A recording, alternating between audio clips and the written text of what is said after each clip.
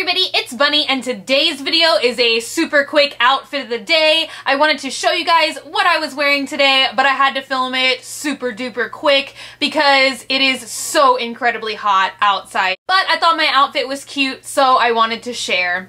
My dress is by Unif and it is called the high tea dress and it really has like a Marie Antoinette vibe, at least in my mind. It's super sheer, so I put a white cotton dress that I got at the thrift store underneath it, so that would take away some of the sheer qualities. The skirt is so fun, and I love the little rosette details.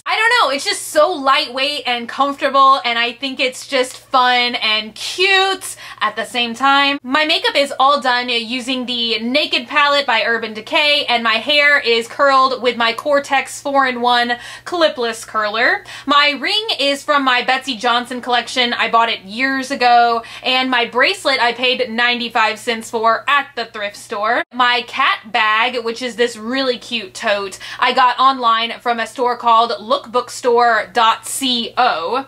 And last but not least, I am wearing my hologram Litas from Karmaloop. I love Litas, especially in the summertime. They are just so cute and comfortable and you can really dress them up or down. So even though this was super short, I hope you guys still enjoyed it. I hope you're having a great weekend and I love you guys so much and I'll see y'all tomorrow. Bye!